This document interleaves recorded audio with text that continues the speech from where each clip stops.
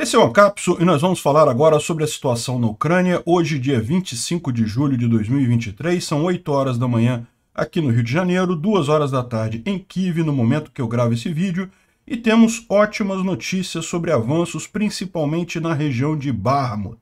Lá em Barmut, ontem os ucranianos conquistaram a Colina 197, que pode ser um, é um termo não muito objetivo, né? indica uma colina simplesmente lá na região, mas era uma colina muito importante que era o último refúgio que os russos conseguiam manter ali. Depois que eles tomaram essa colina, parece que hoje cedo tanto Andrívica quanto Klishivka foram abandonadas pelos russos porque eles não têm mais como defender as cidades. Ainda não foram capturadas pelos ucranianos, mas já foram abandonadas pelos russos. Né? Estão agora totalmente abertas ali. É muito provável que os ucranianos façam a liberação dessas cidades nos próximos dias. Né? Também tivemos avanços aqui na região de Zaporizhia e existe uma grande movimentação em Nova Karhovka. Não se sabe se os ucranianos estão fazendo alguma coisa ali ou não. Mas tem avanços russos também, principalmente na linha de frente aqui ao norte, aqui em Luhansk. Né?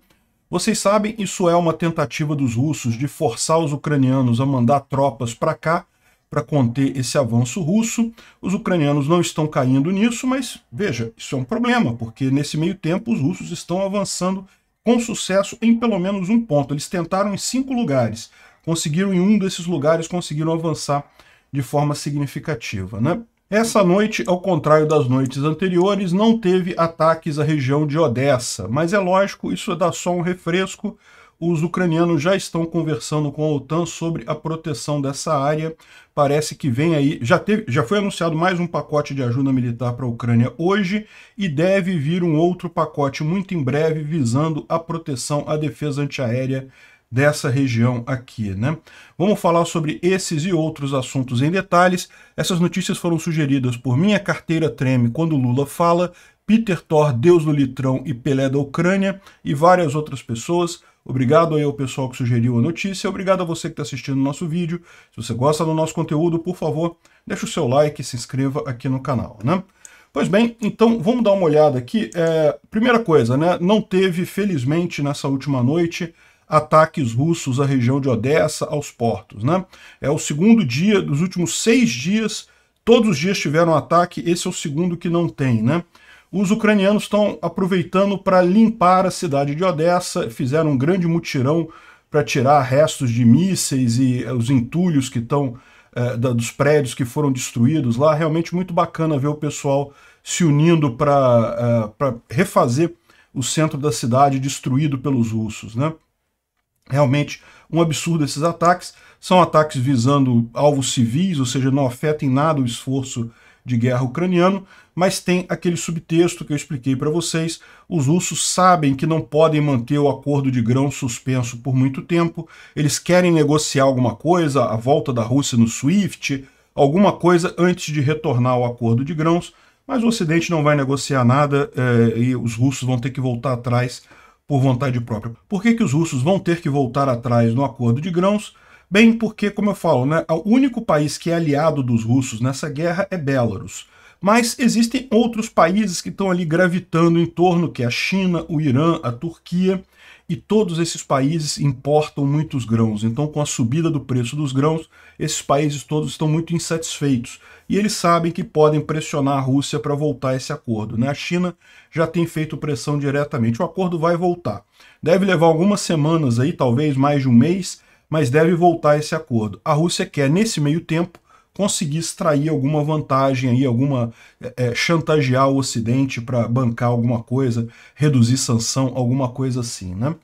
Bom, uh, os ucranianos derrubaram um helicóptero K-52 ali na região de Donetsk. Tem aqui a imagem de onde que ele foi derrubado, bem aqui em Makivka, muito perto de onde teve também um ataque ucraniano que a gente vai falar daqui a pouco, né? O helicóptero foi derrubado pela 38ª Brigada da Ucrânia e uh, a equipe do helicóptero, os pilotos não sobreviveram, né? Acabaram falecendo.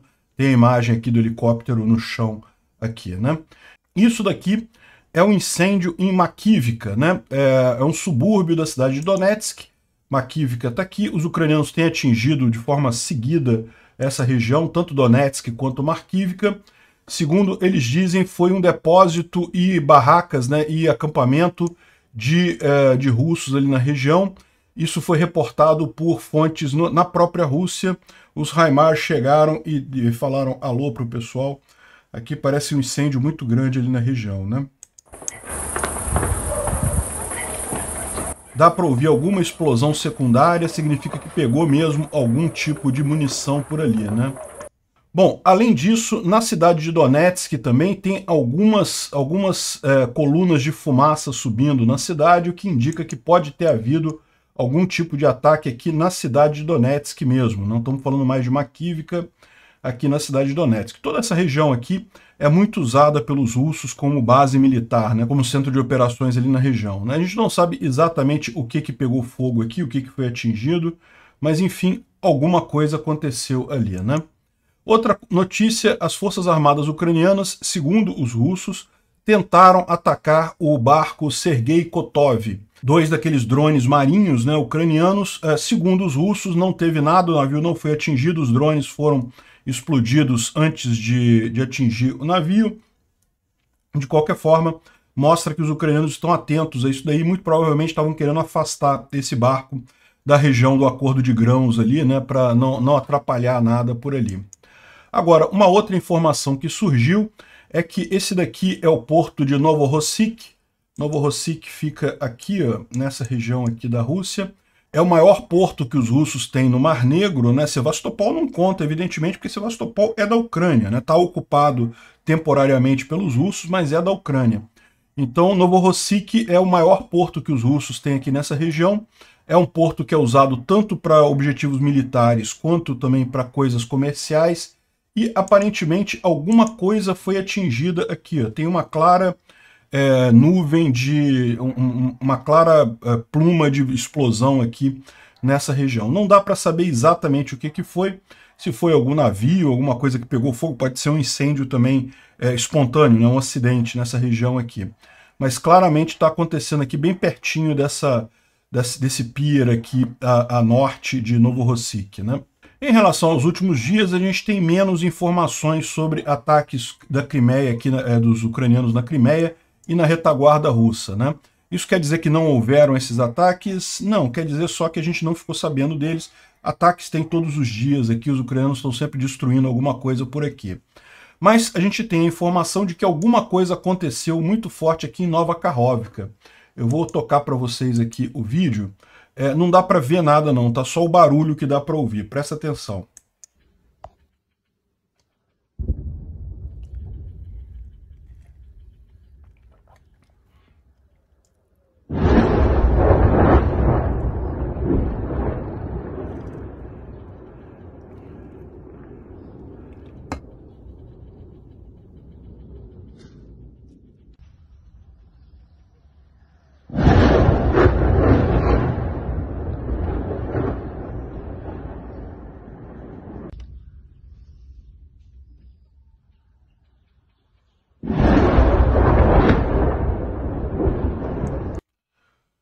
Daí é barulho de artilharia, né? canhões de artilharia, ou seja, está havendo alguma, alguma movimentação ali em Nova Karhovka.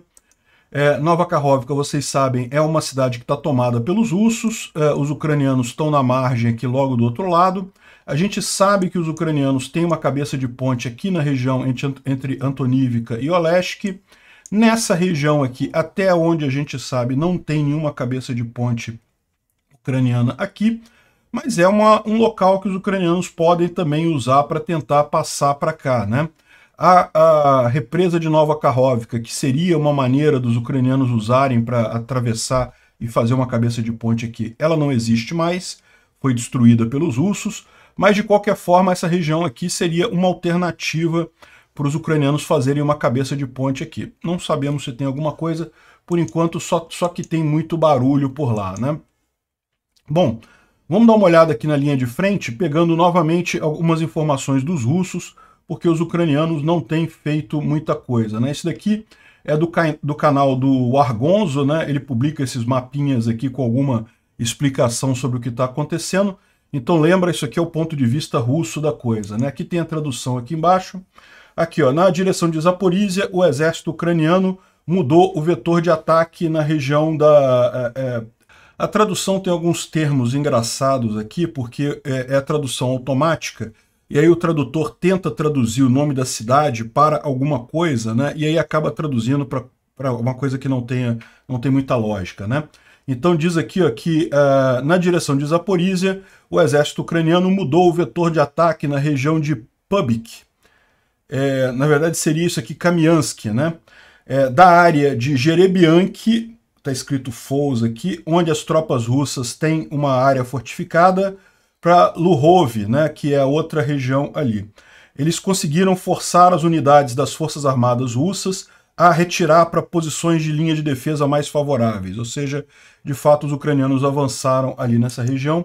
É, o que, a gente está falando? Aqui, nessa região aqui de Kamiansk, é, os ucranianos estavam tentando tomar Jerebianki aqui, tanto pelo norte quanto aqui por Piatihatsky, mas aparentemente os, os russos estão muito é, entrincheirados aqui, tem uma posição defensiva muito forte aqui. Os ucranianos tentaram vir aqui por norte, agora direto para Luhov, né, e estão conseguindo algum sucesso. Isso não é novidade para a gente, a gente já falou sobre isso alguns dias atrás. Né? Os russos estão só confirmando que isso está acontecendo. E na região de Robotny, as forças ucranianas também avançaram a nordeste de Robotny, com uma tática similar de contornar áreas fortificadas. Né? Então o que ele está dizendo aqui é que Robotny, é, mais aqui, mais aqui a leste, é, os ucranianos estão conseguindo avançar aqui a nordeste de Robotny. Né? Na verdade, como a gente falou ontem, eles já estão no norte da cidade, já entraram na cidade, mas certamente aqui vai levar muito tempo também para limpar essa cidade, porque também é uma cidade muito fortificada pelos russos. Né? Na direção de Velika Novosilka, a gente tem aqui um post que é dos ucranianos, né? estão falando aqui sobre a situação ali na região. Staromayorsk, é, os ucranianos já estão na parte norte da cidade, mas é, a parte sul ainda está na mão dos russos, e os ucranianos estão também tentando tomar Urogene, que fica do lado, né, do outro lado do rio. E aí tem aqui uma, um post que foi é, colocado pelo, pela central de mídia dos ucranianos, dizendo aqui que as tropas ucranianas tiveram sucesso na direção de Staromayorsk, no fronte sul, ou seja, em Zaporizhia. O porta-voz do Estado-Maior das Forças Armadas da Ucrânia, o Andriy Kovalev, disse que as Forças Armadas da Ucrânia estão entrincheiradas e atingiram seus, uh, as, as, os limites. Né? Uh, o inimigo está colocando muita resistência, movendo unidades, usando reservas e coisa e tal. Então, é mais novidade aqui sobre a situação em Staromayorsk nessa, nesse fronte aqui de Zaporizhia, a gente sabe é, que a situação aqui continua basicamente a mesma. Tanto em Priutini quanto em Staromayorsk, os ucranianos já estão na parte norte da cidade, mas os russos ainda oferecem é, resistência na parte sul. Né? Aqui, Urogene também tem algum ataque aqui, mas nota que Staromayorsk fica mais elevada em relação a Urogene, então tomando essa cidade aqui, é, Urogene rapidamente vai ficar no poder dos ucranianos. Né? A cidade está numa área cinza aqui, justamente porque fica mais baixa, então é difícil de ser defendida. Nem os ucranianos, nem os russos tomam é, Urogene por enquanto. É, a questão toda vai ser Staromayorsk aqui. Né? Agora, essa conta aqui de Ozint, né, o Geo Confirmed, é, eles botaram aqui alguma uma ilustração aqui de todas as tropas ucranianas que estão avançando nessa região. Né? Realmente, é uma quantidade significativa de tropas aqui, de unidades do exército ucraniano que está forçando esse ponto aqui da linha de frente.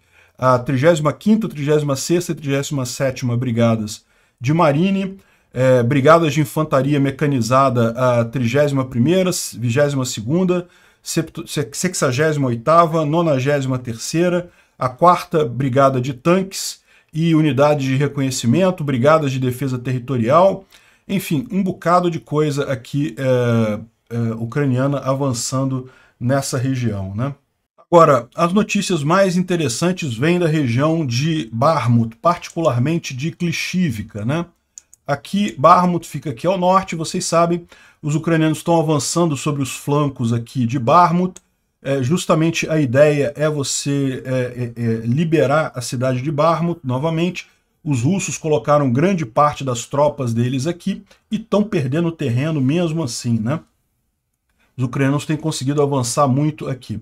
Aqui tem uma imagem de, uma, de um ataque ucraniano a um grupo de russos que ficou preso ali na região de Klishivka. Eu não posso mostrar o vídeo para vocês porque é, o YouTube não gosta desse tipo de coisa, mas todos esses pontinhos que vocês estão vendo no vídeo aí são é, corpos. E aqui também tem a situação de que os ucranianos ali na região de, de Klishivka encontraram o pessoal do grupo Azov, né, os Kadirovitas, que são o, o a, a, tropa de elite lá, o, o batalhão Armat, lá dos chechenos, né, que seria a tropa de elite dos chechenos, com capacidade excelente, coisa e tal. Até aqui só tinha aparecido no TikTok.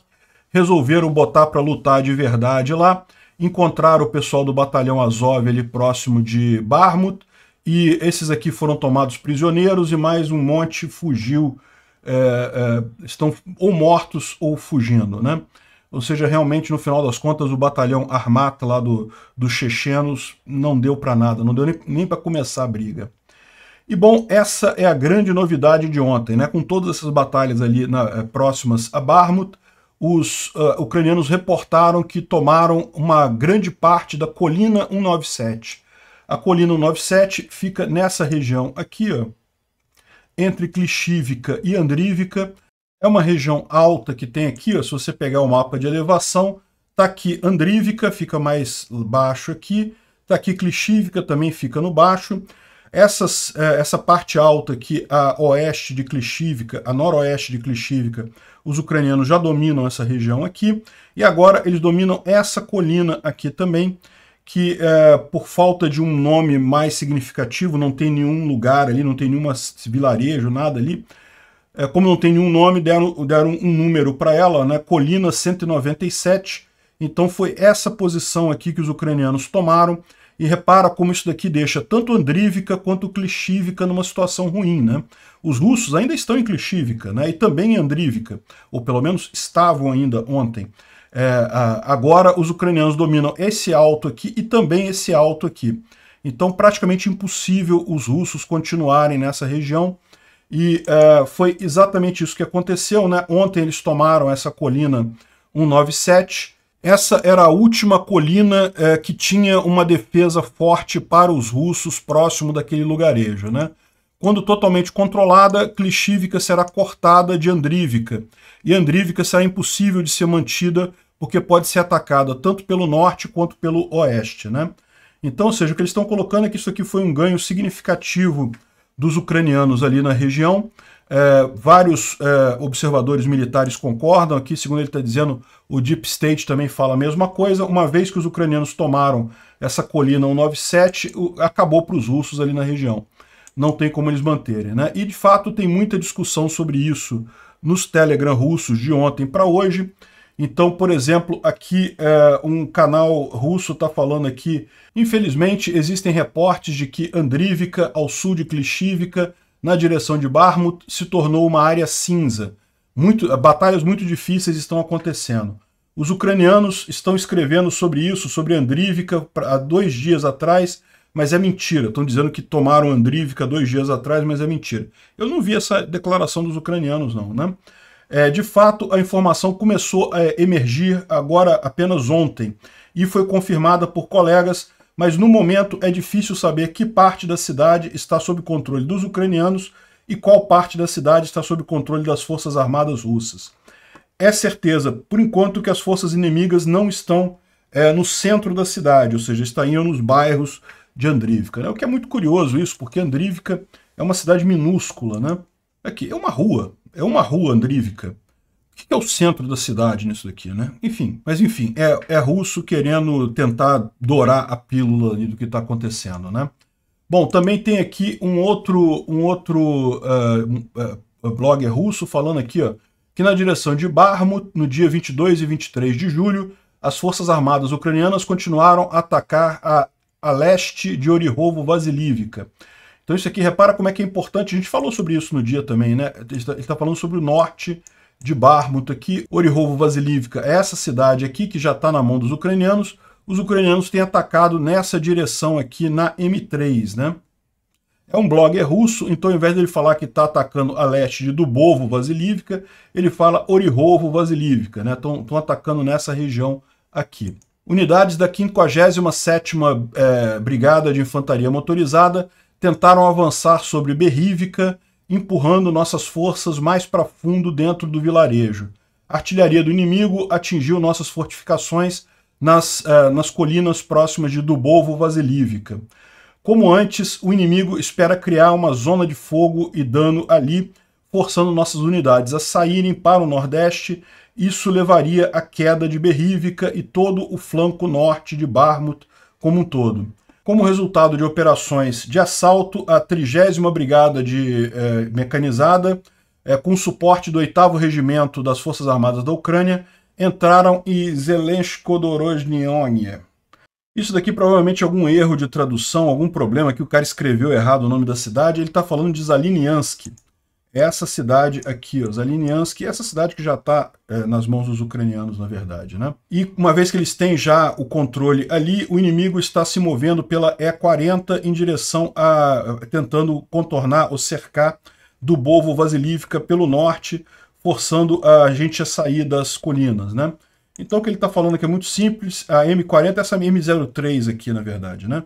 Os ucranianos estão avançando por Berrívica aqui ao sul e pela M03 aqui ao norte, e a ideia é que do Bovo Vasilívka, que é uma, uma fortaleza russa que está muito bem defendida, com muitas tropas, mas e que fica num lugar alto, então um lugar que é estrategicamente importante para o, o, a defesa da região, eles estão querendo forçar os russos a sair aqui. É, é, é a estratégia que a gente já vem falando.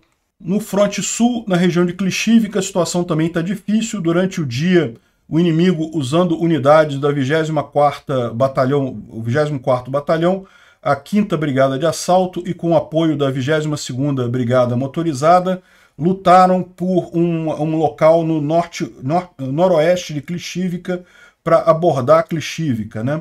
As forças do 3 Batalhão Azov tentaram entrar na nossa defesa na região de Andrívika, a 2 quilômetros a sudoeste de Klishivka.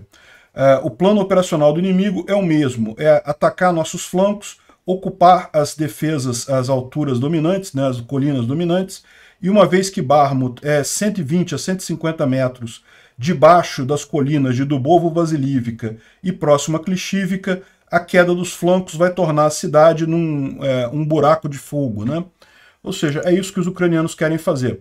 Eles estão tomando as alturas todas aqui em Klishivka, precisam tomar ainda a altura aqui em Dubovo Vasilívka. Se você olhar aqui no mapa, aqui ó, Dubovo Vasilívka, é essa altura aqui, então é também é uma região mais alta.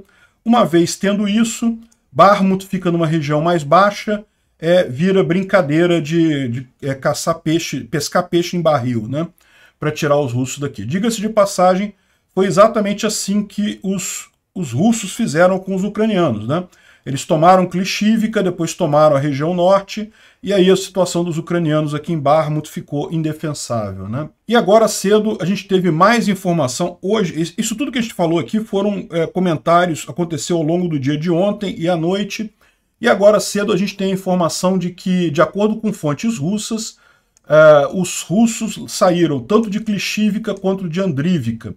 Ou seja, como a gente tinha imaginado, uma vez tomada essa colina 197 aqui nessa região, tanto Andrivka quanto Klishivka ficam indefensáveis.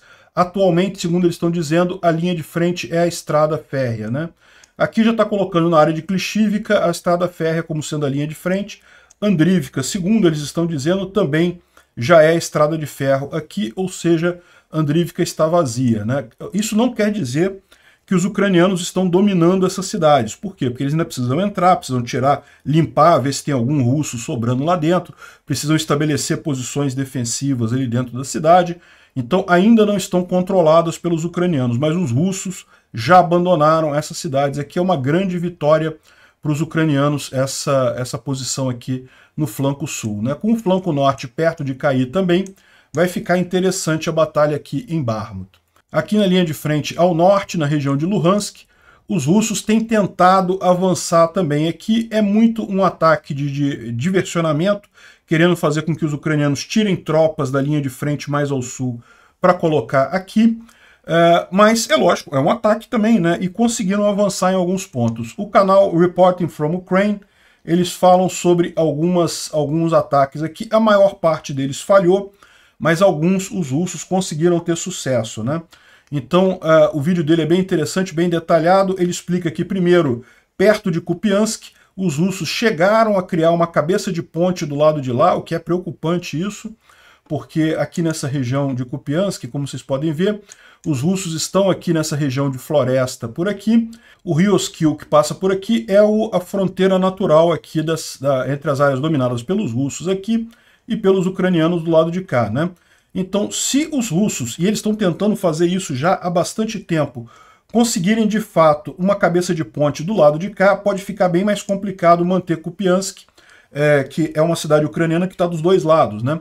Hoje os ucranianos não precisam se preocupar tanto com a defesa aqui, porque tem o rio, que é uma, uma, uma fortificação natural, né? E uh, os russos têm avançado nessa região de floresta aqui e teriam, chegaram a fazer uma cabeça de ponte do lado de cá, mas os ucranianos fizeram um contra-ataque e destruíram essa cabeça de ponte aqui. Uh, os russos avançaram um pouquinho, mas ainda estão dentro dessa região de floresta aqui, não conseguiram avançar em direção a Kupiansk de forma significativa. Né? Eles falam também, a mesma coisa aconteceu aqui em Kreminá, a gente já tinha falado sobre isso, eles avançaram em direção a Torsk, é, chegaram a, a ficar próximo da cidade, mas só conseguiram manter a região de floresta, porque os ucranianos atacam pelo sul e daí conseguem destruir esse avanço russo aqui. Né? Isso aqui já aconteceu há alguns dias. Não foi só ali, teve também em outros lugares aqui, em Kuzemivka, Novoselivka, uh, os russos tentaram avançar por aqui e foram barrados, não conseguiram avançar por aqui nessa região. Tentaram um pouco mais abaixo em Krivoshnivka, Krivoshrivka, chegaram a avançar um tanto aqui na região de Floresta, mas depois foram expulsos pelos ucranianos também. Então, uh, e tentaram também nessa outra região aqui mais abaixo, aqui em Kovalivka. Novoselivka está aqui, eles tentaram avançar por aqui, coisa e tal, não conseguiram. Agora, conseguiram avançar nessa região aqui, ó, em Kovalivka, eles conseguiram, de fato, ultrapassar o rio aqui. Esse rio aqui não é o Oskil, é o rio Zerebets, o Oskil está mais para cá, é esse outro rio aqui. É, mas eles conseguiram ultrapassar o Zerebets, isso é um problema para os ucranianos. Né? O Zerebets aqui fornecia um mínimo de defesa natural aqui entre as tropas, e aqui é a região mais preocupante, é a única que os russos, de fato, conseguiram algum sucesso ali. Né? É lógico, os ucranianos já estão fazendo contra-ataque, já estão preparando isso daqui, mas não deixa de ser uma situação que inspira cuidados. Né? Embora a gente saiba que é um ataque que é só diversionismo, que os russos não têm capacidade de desenvolver esse ataque muito, mas é preocupante. Se eles começarem a avançar aqui, pode ser necessário, de fato, que os ucranianos desviem tropas para proteger toda essa área que foi reconquistada a muito custo aqui é, na região de, é, de Kharkiv. Né? O Instituto para Estudo da Guerra fala sobre os ataques ucranianos ontem em Moscou, fala sobre os ataques russos é, ali em Odessa e coisa e tal, é, mas não tem nenhuma novidade, a gente já falou sobre tudo isso ontem. Né? Bom, a gente tem a informação que o coronel Evgeny Andrekovich Vashunin é, acabou morrendo em algum lugar na Ucrânia, onde ele estava tentando resgatar prisioneiros de um batalhão de ataque ucraniano. Né? Toma, talvez os prisioneiros tenham sido tenham matado ele.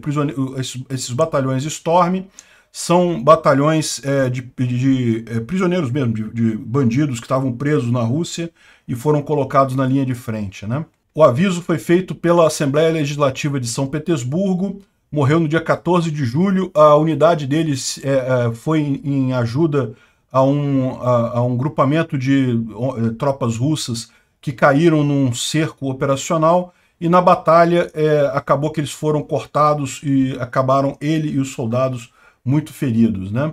O Zelensky falou que teve uma conversa com o primeiro-ministro do Reino Unido, falando sobre as tentativas de destruir uh, o centro histórico de Odessa, e falando sobre a necessidade de defender Odessa, e o primeiro-ministro da Inglaterra eh, anotou a adoção da, da declaração de apoio à Ucrânia pelo G7 e pela OTAN, e vai coordenar eh, mais etapas para tentar garantir a, a, dar garantias de segurança ali para Odessa. Né?